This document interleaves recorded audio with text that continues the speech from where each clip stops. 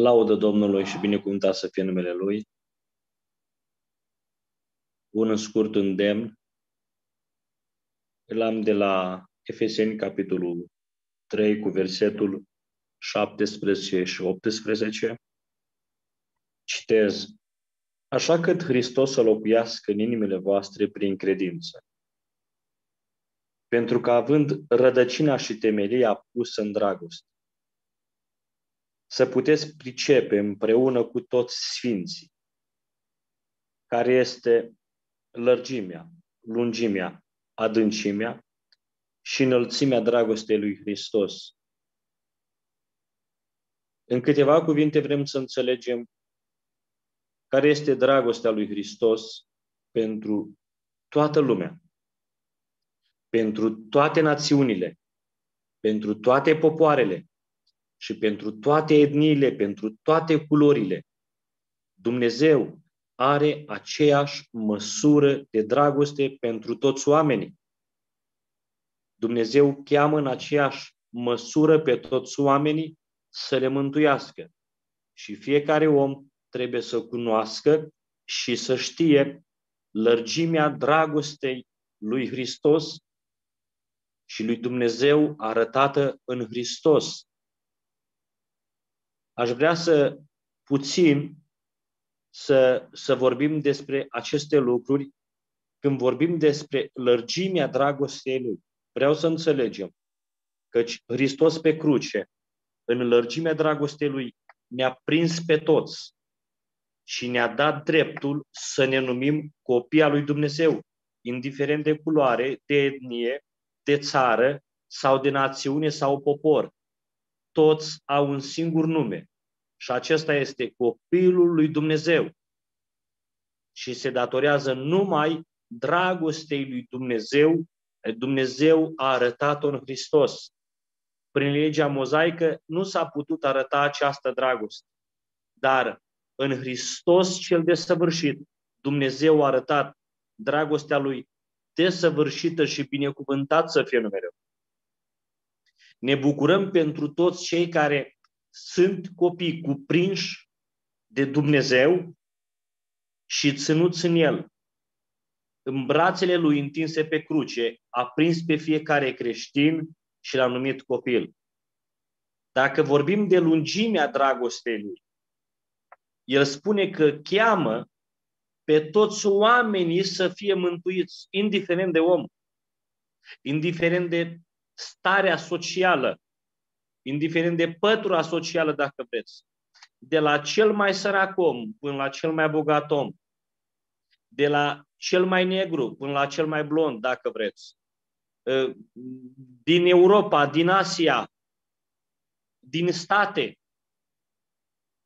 din Rusia, de oriunde am fi, am putea să le numărăm. Dumnezeu îi cheamă pe toți să fie mântuiți numai în Fiul Său, Iisus Hristos, și El vrea și dorește lucrul acesta. Și orice om care a gustat din dragostea lui Dumnezeu susține, se roagă și are aceeași dorință ca dorința lui Dumnezeu să se împlinească și spune că și dorința lui Dumnezeu este ca toți oamenii să se pocăiască. Și ceea ce se întâmplă pe această platformă este dorința copiilor lui Dumnezeu, ca oamenii să audă mesajul Evangheliei, să înțeleagă că Dumnezeu te iubește, ne iubește și vrea să ne ofere viața, vrea să ne ofere binecuvântări care erau ascunse altădată în Hristos, dar acum sunt descoperite. Pentru cine?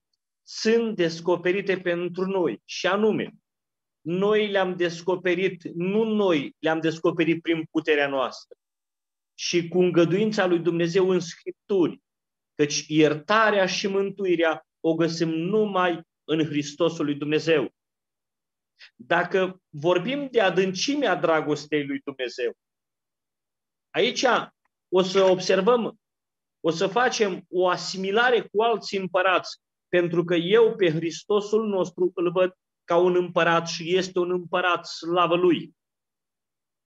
Mulți împărați s-au luptat pentru popoarele lor, pentru națiuni, și au susținut într-o oarecare măsură un popor în spate. Dar vreau să știi ceva, că acel împărat a murit și nu s-a mai ridicat. Roma a avut 12 cezari. Toți au murit și niciunul nu s-a mai ridicat.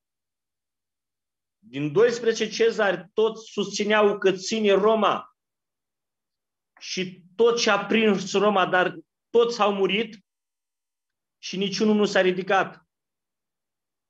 Hitler, Napoleon și alții, Alexandru cel Mare, care au cucerit lumea, au murit, deși au susținut popoare și nu s-a mai ridicat. Dar împăratul meu s-a coborât în adâncimile mormântului și de acolo, acolo mai bine zis, a zdrobit capul satanei, șarpele cel vechi, a biruit moarte și s-a ridicat de acolo cu o putere și mai tare, arătând dragostea și puterea dragostei lui pentru noi, pentru toți oamenii care trebuie să fie mântuiți. Slăvit să fie numele Domnului pentru lucrul acesta.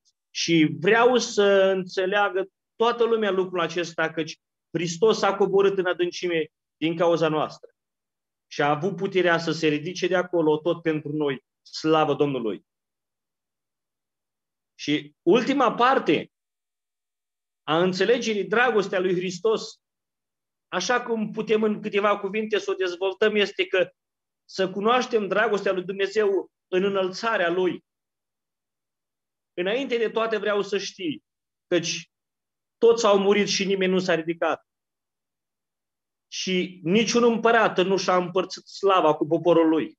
Dar acest împărat care este Hristosul meu și Hristosul copiilor care cred în El, s-a înălțat la cer ca să vină și după noi să ne ia acolo.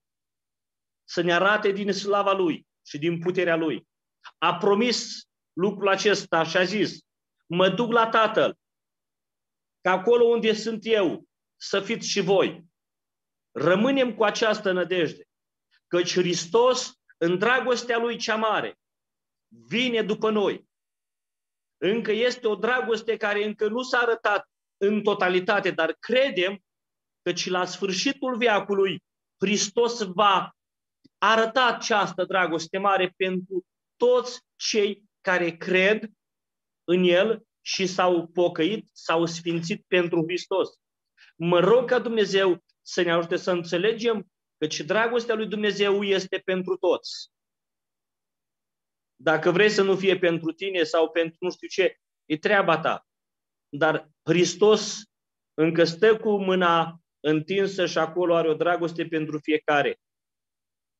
În lungime, în lățime, în adâncime și în înălțime. Ne cuprinde pe toți. Și pentru lucrul acesta îi mulțumesc, căci m-a cuprins și pe mine și pe noi toți de pe grup și din biserici și din, de pe tot mapamondul și pot să spun slăvit să fie numele Domnului și noi ne rugăm și vrem să lucrăm pentru Domnul ca să audă cât mai mulți oameni de mesajul Evangheliei și a dragostea lui Hristos.